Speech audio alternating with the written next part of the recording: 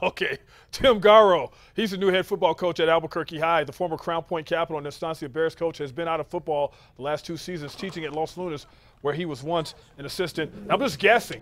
I don't think he lifts cars. No. Why?